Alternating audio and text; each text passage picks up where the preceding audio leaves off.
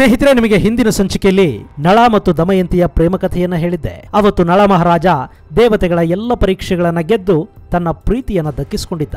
ಇಂದ್ರಾದಿ ದೇವತೆಗಳು ಅವರಿಬ್ಬರ ಪ್ರೇಮವನ್ನ ಪರೀಕ್ಷೆ ಮಾಡೋದಷ್ಟೇ ಅಲ್ಲ, ಅವರನ್ನ ದುಷ್ಟ ಶಕ್ತಿಯೊಂದರಿಂದ ಕಾಪಾಡೋ ಸಲುವಾಗಿ ಕೂಡ ಅಲ್ಲಿ ಅಂಥದ್ದೊಂದು ಪರೀಕ್ಷೆಯನ್ನ ಏರ್ಪಡಿಸಿದ್ರು. ಆದ್ರೆ ಅಲ್ಲಿನ್ನೇನು ಎಲ್ಲ ಸಂಪನ್ನವಾಯಿತು ಅನ್ನೋಷ್ಟರಲ್ಲಿ ಸಭಾ ಮಂಟಪಕ್ಕೆ ಅವನೊಬ್ಬನ ಆಗಮನ ಆಯಿತು. ಬರುವಾಗಲೇ ಬೆಂಕಿಯ ಕಣ್ಣುಗಳನ್ನ ಹೊತ್ತು ಬಂದಿದ್ದ ಅವನು ಅಲ್ಲಿ ಸ್ವಯಂವರ ಮುಗಿದು ಹೋಗಿದೆ ಅನ್ನೋ ವಿಷಯ ತಿಳಿದು ಕ್ರೋಧ ತಪ್ತನಾಗಿ ಬಿಟ್ಟ ಅವನು ಬೇರಿನ್ಯಾರೂ ಅಲ್ಲ, ಕಲಿಪುರುಷ. ಗೆಳೆಯರೆ, ಈ ಕಲಿಪುರುಷ ದೇವತಾಗಣಕ್ಕೆ ಸೇರಿದವನ ರಾಕ್ಷಸ ಗಣಕ್ಕೆ ಸೇರಿದವನ ಅಥವಾ ದೇವತೆಯಾಗಿದ್ದು ರಾಕ್ಷಸ ಗುಣಗಳನ್ನ ಮೈಗೂಡಿಸಿಕೊಂಡಿದ್ದವನ? ಈ ಬಗ್ಗೆ ಪುರಾಣಗಳಲ್ಲಿ ಬೇರೆ ಬೇರೆ ರೀತಿಯ ಕಥೆಗಳು ಕೇಳಿ ಬರುತ್ತವೆ. ಆದ್ರೆ ಕಲಿ ಅಂದ್ರೆ ದುಷ್ಟತನಗಳನ್ನ ಮೈಗೂಡಿಸಿಕೊಂಡಿದ್ದ ಕಾಮ, ಕ್ರೋಧ, ಲೋಭ, ಮೋಹ, ಮದ, ಮತ್ಸರ ಆದಿ ಅರಿಷಡ್ ವರ್ಗಗಳಿಗೆ ತನ್ನಲ್ಲಿ ಅವಕಾಶ ಕೊಟ್ಟಿದ್ದ, ಸದಾ ದುಶ್ಚಟಗಳಿಗೆ ಪ್ರೇರೇಪಿಸಬಲ್ಲ ದುರುಳ ಕಾಲಪುರುಷ ಅಥವಾ ಯುಗ ಪುರುಷನೇ ಕಲಿ. ಇಂಥ ಕಲಿ ಕ್ರೋಧಾವಿಷ್ಟನಾಗಿ ಸ್ವಯಂವರಕ್ಕೆ ಬಂದಿದ್ದನ್ನ ನೋಡಿನೇ ದೇವಾನು ದೇವತೆಗಳ ಮನಸ್ಸು ಕೇಡನ್ನ ಶಂಕಿಸತೊಡಗಿತ್ತು ಅಲ್ಲಿ ಕಲಿ ಕೂಡ ದಮಯಂತಿಯ ಸ್ವಯಂವರಕ್ಕೆ ಬಂದಿದ್ದ. ಆದರೆ ಅವನು ಬರೋಷ್ಟರಲ್ಲಿ ಎಲ್ಲ ಅಲ್ಲಿ ಮುಗಿದು ಹೋಗಿತ್ತು. ಅದು ಗೊತ್ತಾಗಿ ಅವನ ಸಿಟ್ಟು ಮತ್ತಷ್ಟು ಹೆಚ್ಚಾಯಿತು.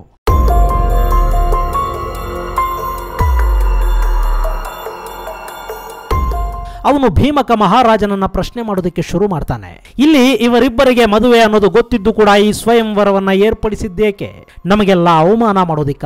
ಅವನ ಪ್ರಶ್ನೆ ಅತ್ಯಂತ ಖಾರವಾಗಿತ್ತು. ಕಲಿಯ ಮಾತಿಗೆ ಅಲ್ಲಿದ್ದ ಉಳಿದ ರಾಜರು ಕೂಡ ದನಿಗೂಡಿಸಿದ್ರು. ಆದ್ರೆ ಅಲ್ಲಿ ಕೂಡ ಕಲಿಗೆ ಸಮಾಧಾನ ಮಾಡೋದಕ್ಕೆ ಪ್ರಯತ್ನಿಸಿದವನು ದೇವರಾಜ ಇಂದ್ರಾನೇ. ತಡವಾಗಿದೆ ಮಿತ್ರ. ನೀನು ಬರೋದು ತುಂಬಾನೇ ತಡವಾಗಿದೆ. ಸ್ವತಃ ನಾನು, ಯಮ, ಅಗ್ನಿ ವರುಣದೇವ ಎಲ್ಲ ದಮಯಂತಿಯ ಸ್ವಯಂವರಕ್ಕಾಗಿಯೇ ಇಲ್ಲಿಗೆ ಬಂದವರು. ಹಾಗಂತ ನಾವು ಬಲವಂತವಾಗಿ ಆಕೆಯ ಮನಸ್ಸಿಗೆ ವಿರುದ್ಧವಾಗಿ ಆಕೆಯನ್ನ ಒಲಿಸಿಕೊಳ್ಳೋ ಪ್ರಯತ್ನ ಮಾಡಬಾರದು. ದಮಯಂತಿಗೆ ಮತ್ತು ನಳ ಮಹಾರಾಜನಿಗೆ ಹಲವಾರು ಪರೀಕ್ಷೆಗಳನ್ನು ನಡೆಸಿದ ನಂತರವೇ ಅವರಿಬ್ಬರ ವಿವಾಹಕ್ಕೆ ನಾವು ಒಪ್ಪಿಗೆ ಕೊಟ್ಟಿದ್ದೀವಿ. ಅವರಿಬ್ಬರು ಒಂದಾಗಬೇಕು ಅನ್ನೋದು ವಿಧಿ ಲಿಖಿತ. ದಮಯಂತಿಯ ಮೇಲಿನ ಆಸೆಯನ್ನ ಬಿಟ್ಟು ಬಿಡು ಮಿತ್ರ. ಅದು ನಿನಗೆ ಶೋಭೆ ತರೋದಿಲ್ಲ. ನಮ್ಮ ಮಾತನ್ನ ಕೇಳಿ ನೀನಿಲ್ಲಿಂದ ಹಿಂತಿರುಗಿ ಬಿಡು. ದಮಯಂತಿಯನ್ನ ಬಿಟ್ಟು ಹಿಂತಿರುಗೋದೆ ಸಿಡಿದೆದ್ದಿದ್ದ ಕಲಿ, ಇಟ್ಟ ಹೆಜ್ಜೆಯನ್ನ, ತೊಟ್ಟ ಫಣವನ್ನ ಆಸೆ ಪಟ್ಟಿದ್ದನ್ನ ಯಾವತ್ತೂ ಬಿಟ್ಟು ಕೊಟ್ಟವನಲ್ಲ ಅವನು. ಹೀಗಾಗಿನೇ ಅವನು ದೇವೇಂದ್ರನ ಮುಂದೆ ನಳ ಮಹಾರಾಜನ ವಿರುದ್ಧ ಕತ್ತಿ ಹಿರಿದು ಬಿಟ್ಟ. ಅದಕ್ಕೆ ದೇವತೆಗಳು ಹೇಗೆ ತಾನೇ ಅವಕಾಶ ಮಾಡಿಕೊಟ್ಟಾರು? ಈ ಬಾರಿ ಕೋಪಗೊಂಡ ಯಮರಾಜ ಕಲಿಗೆ ಕೊನೆಯ ಎಚ್ಚರಿಕೆಯನ್ನು ಕೊಡ್ತಾನೆ. ನಳ ದಮಯಂತಿಯ ವಿಷಯಕ್ಕೆ ಬಂದರೆ ಅಷ್ಟ ದಿಕ್ಪಾಲಕರನ್ನ ಎದುರು ಹಾಕೋಬೇಕಾಗತ್ತೆ ಕಲಿ. ಯಮನ ಮಾತಿಗೆ ಮತ್ತಷ್ಟು ಅವಮಾನಿತನಾದ ಕಲಿಪುರುಷ ಬಂದ ವೇಗದಲ್ಲಿ ಅಲ್ಲಿಂದ ಹೊರಟು ಹೋದ. ಎಲ್ಲವನ್ನ ನೋಡ್ತಿದ್ದ ಭೀಮಕ ಮಹಾರಾಜನಿಗೆ ಅದೇನೋ ಆತಂಕ. ಆದರೆ ದೇವತೆಗಳೇ ಅವನಿಗೆ ಸಮಾಧಾನ ಮಾಡಿ ಧೈರ್ಯ ಹೇಳ್ತಾರೆ. ಅಷ್ಟೇ ಅಲ್ಲ, ನಳ ಮತ್ತು ದಮಯಂತಿಯರ ಪ್ರೀತಿಯನ್ನ ಮೆಚ್ಚಿ ಅವರಿಗೆ ಉಡುಗೊರೆಯಾಗಿ ಹಲವಾರು ವರಗಳನ್ನ ಕೊಡ್ತಾರೆ. ನಳ ಮಹಾರಾಜ ತನ್ನನ್ನ ಸ್ಮರಿಸಿದ ಕೂಡಲೇ ಪ್ರತ್ಯಕ್ಷನಾಗ್ತೀನಿ ಅಂತ ಅಗ್ನಿ ಮತ್ತು ವರುಣರು ವಚನ ಕೊಟ್ರು. ನಳ ಮಹಾರಾಜ, ಯಾವುದೇ ಯಾಗ ಮಾಡಲಿ, ಅದರ ಹವಿಸ್ಸನ್ನ ಸ್ವೀಕರಿಸುವುದಾಗಿ ದೇವೇಂದ್ರ ಹೇಳಿದ್ದ. ಇನ್ನು ದಕ್ಷಿಣ ದಿಕ್ಕಿನ ಅಧಿಪತಿಯಾದ ಯಮರಾಜ, ನಳ ಮಹಾರಾಜನಿಗೆ ಅನ್ನಪೂರ್ಣೆಯ ಅನುಗ್ರಹದಿಂದ ಮಹಾನ್ ಪಾಕ ಪ್ರವೀಣನಾಗುವಂತೆ ಆಶೀರ್ವದಿಸಿದ್ದ. ಇತ್ತ ನಳ ಮತ್ತು ದಮಯಂತಿ ದಾಂಪತ್ಯ ಜೀವನಕ್ಕೆ ಕಾಲಿಟ್ರೆ ಅತ್ತ ಕಲಿ ಅವರಿಬ್ಬರನ್ನ ದೂರ ಮಾಡುವ ತಂತ್ರವನ್ನ ಹೆಣಿತಿದ್ದ. ಅವನ ಮನಸ್ಸಲ್ಲಿ ದಮಯಂತಿಯ ಸೌಂದರ್ಯ ಹಾಗೂ ತನಗಾದ ಅವಮಾನಗಳೇ ಕೊರಿತಾ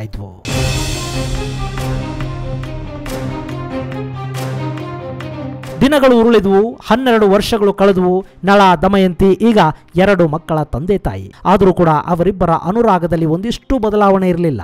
ವನದಲ್ಲಿ ಊಟಕ್ಕೆ ಕುಳಿತಿದ್ದ ಅವರಿಬ್ಬರ ಪ್ರೀತಿ ಉತ್ತುಂಗದಲ್ಲಿತ್ತು. ಆದರೆ ಕಲಿ ಮಾತ್ರ ದಮಯಂತಿಯನ್ನ ಮರೆತಿರಲಿಲ್ಲ. ನಳ ಮತ್ತು ದಮಯಂತಿಯರನ್ನ ಬೇರೆ ಮಾಡೋದಕ್ಕೆ ಒಂದೇ ಒಂದು ಅವಕಾಶಕ್ಕಾಗಿ ಅವನು ಕಾಯ್ತಾ ಇದ್ದ ಹಾಗಿದ್ದಾಗಲೇ ಕಲಿಯ ದೃಷ್ಟಿ ನಳ ಮಹಾರಾಜನ ತಮ್ಮ ಪುಷ್ಕರನ ಮೇಲೆ ಬಿತ್ತು. ಸ್ನೇಹಿತರೆ, ಒಂದು ಹೆಣ್ಣು ಪ್ರೀತಿಯನ್ನ ನಿರಾಕರಿಸಿದ್ರೆ ಗಂಡಿಗೆ ಅಷ್ಟೊಂದು ನೋವಾಗೋದಿಲ್ಲ. ಆದ್ರೆ ಅದೇ ಹೆಣ್ಣು ಅವನ ಕಣ್ಣು ಮುಂದೆ ಮತ್ತೊಬ್ಬ ಪುರುಷನನ್ನ ಮೆಚ್ಚಿ ಮದುವೆಯಾದ್ರೆ, ಹಾಗೆ ಮದುವೆಯಾದ ಮೇಲೆ ಕೂಡ ಅವಳು ಸುಖವಾಗಿ, ಸಂತೋಷವಾಗಿದ್ರೆ ಭಗ್ನಗೊಂಡವನಿಗೆ ಅದು ಹೇಳತೀರದ ನೋವು. ಕಲಿಯ ವಿಷಯದಲ್ಲಿ ಕೂಡ ಹಾಗೆ ಆಗಿತ್ತು. ಸಹಜವಾಗಿ ಅವನು ಈರ್ಷ್ಯೆಯಿಂದ ಕನಲಿ ಹೋಗ್ತಿದ್ದ. ಅಂಥವನ ಕಣ್ಣು ಈಗ ನಳನ ಸಹೋದರ ಪುಷ್ಕರನ ಮೇಲೆ ಬಿತ್ತು. ಪುಷ್ಕರ ನಳ ಮಹಾರಾಜನ ಪ್ರೀತಿಯ ಸಹೋದರ. ಅಣ್ಣ ನಿಷಧ ದೇಶದ ರಾಜ್ಯಭಾರ ಮಾಡ್ತಿದ್ರೆ ಈತ ಧಾರ್ಮಿಕ ಕಾರ್ಯಗಳಲ್ಲಿ ತೊಡಗಿ ಸದಾ ತಪ ಹಾಗೂ ಧ್ಯಾನ ನಿರತನಾಗಿ ಗಂಗಾ ನದಿಯ ತೀರದಲ್ಲಿ ವಾಸ ಮಾಡ್ತಿದ್ದ. ಕಲಿತನ ಕುತಂತ್ರಕ್ಕೆ ಆಯ್ಕೆ ಮಾಡಿಕೊಂಡಿದ್ದು ಇದೇ ಪುಣ್ಯ ಪುರುಷ ಪುಷ್ಕರನನ್ನ. ಗೆಳೆಯರೆ, ಇಲ್ಲಿ ನಮಗೆಲ್ಲ ಗೊತ್ತಿರಬೇಕಾದ ಒಂದು ಅಂಶ ಇದೆ. ನಮ್ಮ ಶತ್ರು ಎಷ್ಟೇ ದುಷ್ಟ, ಬಲಿಷ್ಠನಾಗಿದ್ರೂ ಅವನಿಗೆ ನಮ್ಮನ್ನ ಆವರಿಸಿ ಗೆಲ್ಲೋದಕ್ಕೆ ಅವಕಾಶ ಕೊಡೋದು ನಾವು ಮಾಡಿಕೊಳ್ಳೋ ತಪ್ಪುಗಳೇ ಹೊರತು ಬೇರಿನ್ನೇನೂ ಅಲ್ಲ. ನಾವೇ ತಪ್ಪು ಮಾಡಲಿಲ್ಲ ಅಂದ್ರೆ, ನಮ್ಮಲ್ಲಿ ಬಲಹೀನತೆಗಳು ಇಲ್ಲ ಅಂದ್ರೆ ನಮ್ಮನ್ನ ಸೋಲಿಸೋದು, ನಮಗೆ ತೊಂದರೆ ಕೊಡೋದು ಯಾರಿಂದಲೂ ಸಾಧ್ಯವಾಗುವುದಿಲ್ಲ ಇಂಥ ನೀತಿಯನ್ನ ನಮ್ಮ ಪುರಾಣಗಳಲ್ಲಿನ ಪ್ರತಿ ವಾಕ್ಯವು ನಮಗೆ ಕತೆಗಳ ರೂಪದಲ್ಲಿ ಹೇಳ್ತಾ ಬರುತ್ತೆ. ಮನುಷ್ಯ ಸಹಜವಾಗಿ ಮಾಡೋ ತಪ್ಪುಗಳು, ಅವನ ಬಲಹೀನತೆಗಳು ಮತ್ತು ಅದರಿಂದ ಆಗಬಹುದಾದ ಅನಾಹುತಗಳ ಬಗ್ಗೆನೇ ನಮ್ಮ ಪುರಾಣದ ಕಥೆಗಳು ಹೆಚ್ಚು ಬೆಳಕು ಚೆಲ್ಲೋದು. ಇಲ್ಲಿ ನಳ ಮತ್ತು ದಮಯಂತಿಯ ಕಥೆಯಲ್ಲಿ ಕೂಡ ಮಾನವನ ತಪ್ಪುಗಳು ಬಲಹೀನತೆಗಳು ಮತ್ತು ಸಂಕಷ್ಟದ ಸಮಯದಲ್ಲಿ ಕೂಡ ಎದೆಗುಂದದೆ ಅವುಗಳನ್ನು ಎದುರಿಸುವ ಛಾತಿಯ ಬಗ್ಗೆನೇ ಈ ಕಥೆ ನಮಗೆ ಹೇಳ್ತಾ ಹೋಗುತ್ತೆ. ಅದಿರಲಿ, ಈಗ ವಿಷಯಕ್ಕೆ ಬರೋಣ. ನಳ ಮಹಾರಾಜನಿಗೆ ಒಂದು ಅತಿ ದೊಡ್ಡ ಬಲಹೀನತೆ ಇತ್ತು. ಅದು ಬೇರೇನೂ ಅಲ್ಲ ಪಗಡೆ ಆಟ. ಆಟಕ್ಕೆ ಕೂತ್ರೆ ಅವನು ಸರ್ವಸ್ವವನ್ನು ಮರೀತಿದ್ದ.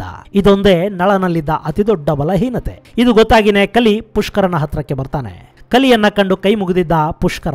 ಎದುರುಗಿದ್ದವನ ಜೊತೆ ಕುಶಲೋಪರಿಗೆ ಇಳಿಯುವಷ್ಟು ತಾಳ್ಮೆ ಕಲಿಗಿರ್ಲಿಲ್ಲ. ಅವನು ನೇರವಾಗಿ ವಿಷಯಕ್ಕೆ ಬಂದ.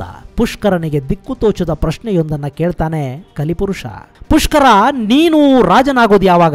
ಪಾಪ ಪುಷ್ಕರನಿಗೆ ಕನಸು ಮನಸ್ಸಲ್ಲಿ ಕೂಡ ಇಂಥದ್ದೊಂದು ಪ್ರಶ್ನೆ ಮೂಡಿರಲಿಲ್ಲ. ಅಂಥವನಲ್ಲಿ ಕೂಡ ಕಲಿ ರಾಜ್ಯದ ಆಸೆಯನ್ನು ತುಂಬಿದ್ದ, ಸಿಂಹಾಸನದ ಮೇಲೆ ಮೋಹ ಹುಟ್ಟಿಸಿದ್ದ. ಒಟ್ಟಲ್ಲಿ ನಳನನ್ನೇ ದೈವ ಅಂದ್ಕೊಂಡಿದ್ದ ಪುಷ್ಕರನ ಮನಸ್ಸನ್ನ ಕದಡುವಲ್ಲಿ ಕಲಿಯ ಕುತಂತ್ರ ಯಶಸ್ವಿಯಾಗಿತ್ತು. ಆದ್ರೆ ಅಣ್ಣನ ಎದುರಲ್ಲಿ ನಿಂತು ರಾಜ್ಯವನ್ನು ಕೇಳೋದ? ಯಾವತ್ತೂ ಇಲ್ಲದ್ದು ಇವತ್ತು ನಾನು ಹೋಗಿ ಕೇಳೋದು ಸಮಂಜಸ ಅನ್ಸೋದಿಲ್ಲ, ಶಾಂತನಾಗಿ ಹೇಳಿದ್ದ ಪುಷ್ಕರ. ಆದ್ರೆ ಎಲ್ಲವನ್ನ ಮೊದಲೇ ನಿರ್ಧರಿಸಿಕೊಂಡು ಬಂದಿದ್ದ ಕಲಿಪುರುಷ ಪುಷ್ಕರನಿಗೆ ಪಗಡೆಯಾಟದ ಮಾಯಾ ದಾಳಗಳನ್ನು ಕೊಟ್ಟು ಅಣ್ಣನನ್ನ ಜೂಜಿಗೆ ಆಹ್ವಾನಿಸು. ಸೋತವನು ಕಾಡಿಗೆ ಹೋಗ್ತಾನೆ, ಗೆದ್ದ ನಿನಗೆ ಸಾಮ್ರಾಜ್ಯ ಸಂಪತ್ತುಗಳು ಸಿಗುತ್ತವೆ ಅಂತ ಹೇಳಿ ಅಲ್ಲಿಂದ ಹೊರಟು ಬಿಡ್ತಾನೆ. ಇಷ್ಟಾದರೂ ಪುಷ್ಕರನಿಗೆ ಧೈರ್ಯ ಸಾಕಾಗ್ಲಿಲ್ಲ. ಅಣ್ಣನ ಮುಂದೆ ನಿಂತು ಪಗಡೆಯಾಟಕ್ಕೆ ಬಾ ಅಂತ ಕರೆಯೋದು ಹೇಗೆ? ಅದೇ ಯೋಚನೆಯಲ್ಲಿದ್ದವನಿಗೆ ವಿಧಿ ತಾನೇ ತಾನಾಗಿ ಒಂದು ಅವಕಾಶವನ್ನ ಕಲ್ಪಿಸಿಬಿಡ್ತು ಅದು ಕೂಡ ದಮಯಂತಿಯ ರೂಪದಲ್ಲಿ. ಈ ದಮಯಂತಿಯದ್ದು ಮಾತೃ ಹೃದಯ.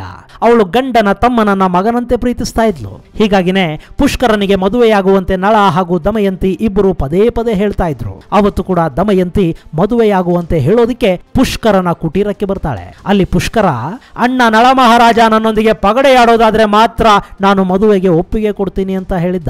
ಅಷ್ಟೇ ತಾನೇ, ಅದ್ಯಾವ ದೊಡ್ಡ ವಿಷಯ, ನಿನ್ನ ಅಣ್ಣನಿಗೆ ನಾನು ಹೇಳಿ ಒಪ್ಪಿಸ್ತೀನಿ ಬಿಡು. ಅತ್ಯಂತ ವಾತ್ಸಲ್ಯ ಹಾಗೂ ಪ್ರೀತಿ ತುಂಬಿದ ದನಿಯಲ್ಲಿ ಮಾತು ಕೊಟ್ಲು ದಮಯಂತಿ. ಪಾಪ. ಈ ಪಗಡೆಯಾಟದ ಬೇಡಿಕೆಯ ಹಿಂದೆ ಕಲಿಪುರುಷನಿದಾನೆ ಅನ್ನೋದು ಆಕೆಗಾದ್ರೂ ಎಲ್ಲಿ ಗೊತ್ತಿತ್ತು? ಅರಮನೆಗೆ ಬಂದ ದಮಯಂತಿ ನಳನಿಗೆ ಪುಷ್ಕರನ ಕೋರಿಕೆಯನ್ನ ತಿಳಿಸ್ತಾಳೆ. ಅವನಿಗೋ ಮಹದಾನಂದ. ಹೇಗೋ ತಮ್ಮ ಮದುವೆಗೆ ಒಪ್ಪಿದ್ನಲ್ಲ, ಅಷ್ಟು ಸಾಕು ಅಂದ್ಕೊಂಡು ಆಟಕ್ಕೆ ಸಿದ್ಧನಾಗಿ ಬಿಟ್ಟ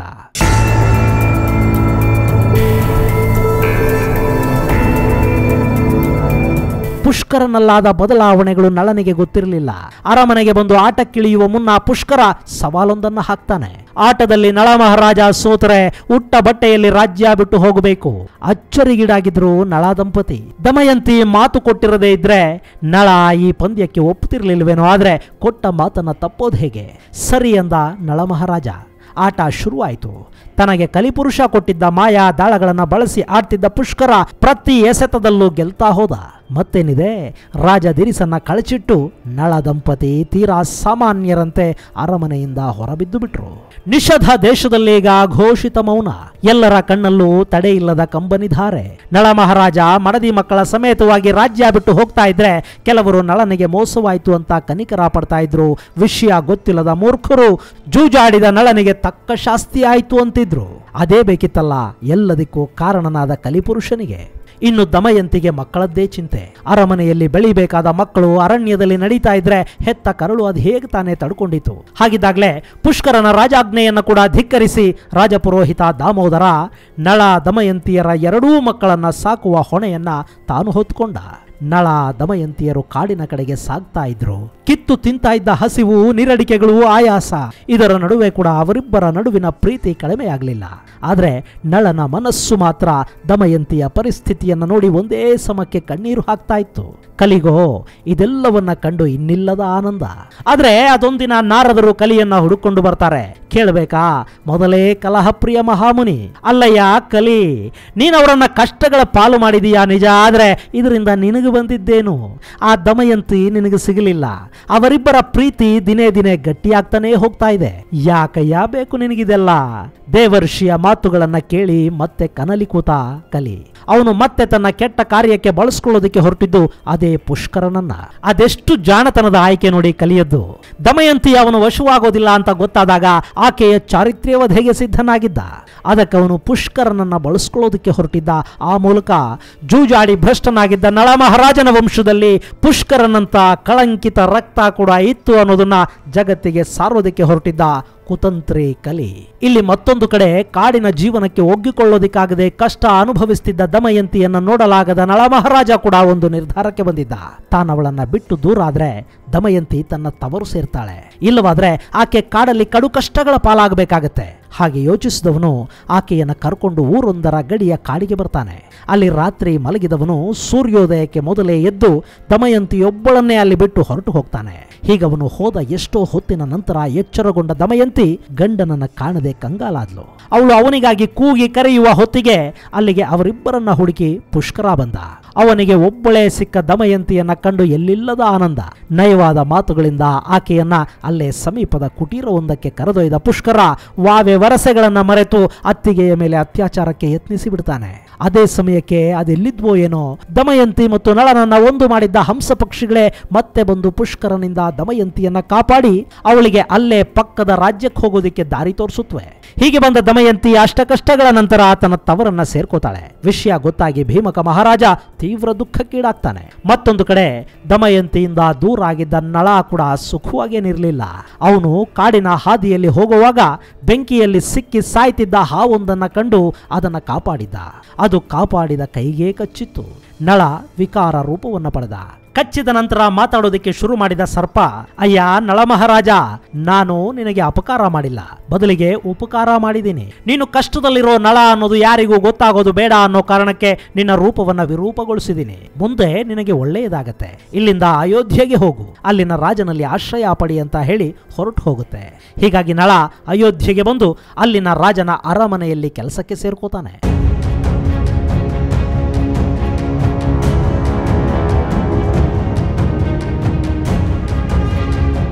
ಮತ್ತೊಂದು ಕಡೆ ತನ್ನ ಅಳಿಯನನ್ನ ಹುಡುಕ್ತಿದ್ದ ಭೀಮಕ ಮಹಾರಾಜನಿಗೆ ಅಯೋಧ್ಯೆಯಲ್ಲಿ ನಳನಿರುವ ಬಗ್ಗೆ ಸಣ್ಣದೊಂದು ಸುದ್ದಿ ಬಂದಿತ್ತಾದರೂ ಅದು ಖಚಿತವಾಗಿರಲಿಲ್ಲ.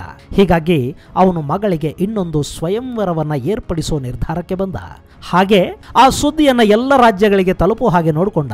ಅಯೋಧ್ಯೆಗೆ ಅದು ತಡವಾಗಿ ತಲುಪೋ ವ್ಯವಸ್ಥೆ ಮಾಡ್ದ. ವಿಷಯ ಗೊತ್ತಾಗಿ ಅಯೋಧ್ಯೆಯ ರಾಜ ಋತುಪರ್ಣ ಕೂಡ ಕುಂಡನೀಪುರದತ್ತ ಹೊರಟು ನಿಲ್ತಾನೆ. ಕಲಿಗೋ ಮಹಾ ಸಂತೋಷ ಇನ್ನೇನು ತಾನು ಈ ಬಾರಿ ಖಂಡಿತ ದಮಯಂತಿಯ ಕೈ ಹಿಡಿತೀನಿ ಅನ್ನೋ ವಿಶ್ವಾಸ ಅವನದ್ದು ಹೀಗಾಗಿ ಅಲ್ಲಿನ ಸ್ವಯಂವರಕ್ಕೆ ಅವನೂ ಬಂದ. ಆದರೆ ಅಯೋಧ್ಯೆಯಿಂದ ಕುಂಡನೀಪುರಕ್ಕೆ ಕಡಿಮೆ ಅಂದರೂ ಹನ್ನೆರಡರಿಂದ ಹದಿನೈದು ದಿನಗಳ ಹಾದಿ. ಅಲ್ಲಿಗೆ ಎರಡೇ ದಿನಗಳಲ್ಲಿ ಹೋಗೋದು ಹೇಗೆ? ಚಿಂತಾಕ್ರಾಂತನಾಗಿದ್ದ ಋತುಪರ್ಣ, ಅದಕ್ಕೆ ಅಶ್ವಶಾಸ್ತ್ರ ನಿಪುಣನಾಗಿದ್ದ ಮಾರುವೇಷದ ನಳನ ಸಹಾಯವನ್ನ ಕೇಳ್ತಾನೆ. ಎಂಥ ಸಂದಿಗ್ಧ ಸ್ಥಿತಿ ನೋಡಿ. ತನ್ನ ಹೆಂಡತಿಗೆ ಎರಡನೇ ಮದುವೆ. ಅದಕ್ಕೆ ಹೊರಟು ನಿಂತ ರಾಜನಿಗೆ ತಾನೇ ಸಹಾಯ ಮಾಡಬೇಕು. ವಿಧಿಯ ಲೀಲೆಯನ್ನ ಯಾರು ತಾನೇ ಧಿಕ್ಕರಿಸೋದಿಕ್ಕೆ ಸಾಧ್ಯ? ನಳ, ಋತುಪರ್ಣ ಮಹಾರಾಜನನ್ನ ಕುದುರೆಯ ಮೇಲೆ ಕೂಡಿಸಿಕೊಂಡು ಒಂದೇ ದಿನದಲ್ಲಿ ಕುಂಡನೀಪುರಕ್ಕೆ ತಂದು ಬಿಟ್ಟ. ಅಲ್ಲಿ ಅಯೋಧ್ಯೆಯಿಂದ ಋತುಪರ್ಣ ಅಷ್ಟು ವೇಗವಾಗಿ ಬಂದ ಅನ್ನೋ ವಿಷಯ ಗೊತ್ತಾದ ಕೂಡಲೇ ದಮಯಂತಿಗೆ ಅವನ ಜೊತೆ ಬಂದ ಕುರೂಪಿ ನಳಾನೆ ಅನ್ನೋದು ಖಚಿತವಾಗಿ ಹೋಯಿತು. ಅದಕ್ಕೆ ಕಾರಣ ಅತ್ಯಂತ ವೇಗವಾಗಿ ಜಗತ್ತಲ್ಲಿ ಮನೋವೇಗದಿಂದ ಕುದುರೆಯನ್ನ ಓಡಿಸಬಲ್ಲ ನಿಪುಣ ಮತ್ತು ಸಮರ್ಥ ಇದ್ದವನು ಒಬ್ಬ ನಳ ಮಾತ್ರ ಅನ್ನೋದು ದಮಯಂತಿಗೆ ಗೊತ್ತಿತ್ತು. ಹೀಗಾಗಿನೇ ಅವಳು ತನ್ನ ಇಷ್ಟ ದೈವವನ್ನ ಪ್ರಾರ್ಥಿಸಿ ಸ್ವಯಂವರದಲ್ಲಿ ಮತ್ತೆ ಭಾಗವಹಿಸ್ತಾಳೆ ಅಲ್ಲಿಗೆ ಕಲಿ ಕೂಡ ಬಂದಿದ್ನಲ್ಲ. ಅವನು ನಳನ ರೂಪ ಧರಿಸಿ ನಿಂತಿದ್ದ.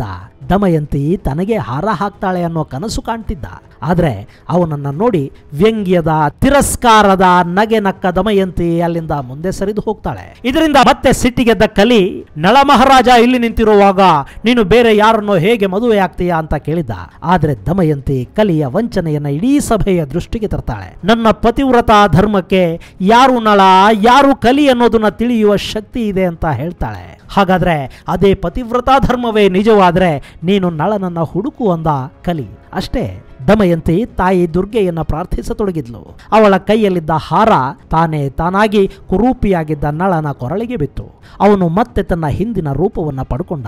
ಅದೇ ಸಮಯಕ್ಕೆ ಅಲ್ಲಿಗೆ ಬಂದ ಪುಷ್ಕರ ಕೂಡ ಜ್ಞಾನೋದಯಕ್ಕೀಡಾದವನಂತೆ ಕ್ಷಮೆ ಕೇಳಿ ತಾನು ಮೋಸದಿಂದ ಪಡ್ಕೊಂಡಿದ್ದ ರಾಜ್ಯವನ್ನ ನಳನಿಗೆ ಒಪ್ಪಿಸ್ತಾನೆ. ಅಲ್ಲಿಗೆ ಎಲ್ಲವೂ ಸುಖಾಂತ್ಯಗೊಂಡು ಮತ್ತೆ ದೇವದೇವತೆಗಳು ಪ್ರತ್ಯಕ್ಷರಾಗಿ ನಳ ದಮಯಂತಿಯರನ್ನ ದೀರ್ಘಕಾಲದವರೆಗೆ ಸಾಮ್ರಾಜ್ಯವನ್ನ ಆಳುವಂತೆ ಯಶೋವಂತರಾಗಿ ಬಾಳುವಂತೆ ಬೆಳೆಯುವಂತೆ ಆಶೀರ್ವಾದ ಮಾಡ್ತಾರೆ. ಗೆಳೆಯರೆ, ಈ ಕತೆ ಮಹಾಭಾರತದ ಅರಣ್ಯ ಪರ್ವದಲ್ಲಿ ಎಲ್ಲವನ್ನೂ ಕಳ್ಕೊಂಡು ನಿರಾಶನಾಗಿ ಕೂತಿದ್ದ ಧರ್ಮರಾಯನ ಆತ್ಮಸ್ಥೈರ್ಯವನ್ನ ಹೆಚ್ಚು ಮಾಡೋದಕ್ಕೆ ಬೃಹದಶ್ವ ಮಹಾಮುನಿಗಳು ಹೇಳ್ತಾರೆ. ಇಲ್ಲಿ ನಳನನ್ನ ಕಾಡಿದ್ದು ಶನಿ ಮಹಾತ್ಮ ಅಂತ ಇತ್ತೀಚೆಗೆ ಕೆಲವರು ಹೇಳೋದು ಕೂಡ ಉಂಟು. ಇಲ್ಲಿ ಕಲಿ ನಿಜವಾಗ್ಲೂ ಕಾಡಿದ್ನ.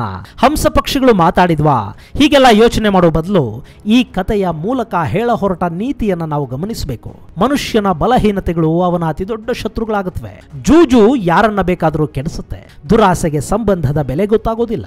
ಮಾತು ಕೊಡುವ ಮೊದಲು ಪರಿಣಾಮಗಳನ್ನು ಆಲೋಚಿಸಬೇಕು. ಸಂತೋಷ ಹಾಗೂ ದುಃಖದ ಸಂದರ್ಭದಲ್ಲಿ ಯಾರಿಗೂ ಭಾಷೆ ಕೊಡಬಾರದು, ಯಾವ ನಿರ್ಧಾರವನ್ನು ಕೈಗೊಳ್ಳಬಾರದು. ಮತ್ತು ಎಂಥ ಸಂದರ್ಭದಲ್ಲಿ ಕೂಡ ನಾವು ನಂಬಿದ ಧರ್ಮವನ್ನ ಬಿಡಬಾರದು. ಇದು ನಳ ದಮಯಂತಿಯರ ಕಥೆಯ ಸಾರಾಂಶ. ಇದನ್ನೇ ಬೃಹದಶ್ವ ಮಹಾಮುನಿಗಳು ಧರ್ಮಜನಿಗೆ ಹೇಳಿ, ನಿನಗಿಂತ ಹೆಚ್ಚು ಕಷ್ಟಪಟ್ಟವರು ಈ ಜಗತ್ತಲ್ಲಿದ್ದಾರೆ. ಅವರು ಮಹಾಮಹಿಮರಾಗಿದ್ದು ತಮ್ಮ ಗಟ್ಟಿ ನಿರ್ಧಾರ ಹಾಗೂ ಧರ್ಮದ ಹಾದಿಯಲ್ಲಿ ಸಾಗಿದ್ರಿಂದ ಅಂತ ಹೇಳ್ತಾರೆ. ನಮ್ಮ ಪುರಾಣ ಗ್ರಂಥಗಳು ಪ್ರತಿ ಹಂತದಲ್ಲೂ ಹೇಳೋದು ಇಂಥ ಬದುಕಿನ ನೀತಿ ಕಥೆಗಳನ್ನ ಮತ್ತು ನಮಗೆ ಧೈರ್ಯ ಮತ್ತು ಸ್ಥೈರ್ಯವನ್ನ ತುಂಬಿ ಎಲ್ಲೋ ನಾವು ಆತ್ಮವಿಶ್ವಾಸವನ್ನ ಕಳೆದುಕೊಳ್ಳದಂತೆ ನಮ್ಮ ಮನಸ್ಸನ್ನ ಗಟ್ಟಿಗೊಳಿಸುವ ಸ್ಫೂರ್ತಿಯ ಕಥೆಗಳನ್ನ. ಗೆಳೆಯರೇ, ನಿಮ್ಮೆಲ್ಲರಿಗೂ ಮಹಾಶಿವರಾತ್ರಿಯ ಶುಭಕಾಮನೆಗಳನ್ನು ತಿಳಿಸ್ತಾ ಮುಂದಿನ ಸಂಚಿಕೆಯಲ್ಲಿ ಮತ್ತೊಂದು ವಿಶೇಷ ಜೊತೆಗೆ ಮತ್ತೆ ಸಿಗೋಣ ಅಲ್ಲಿವರೆಗೆ. ಜೈ ಹಿಂದ್, ಜೈ ಕರ್ನಾಟಕ.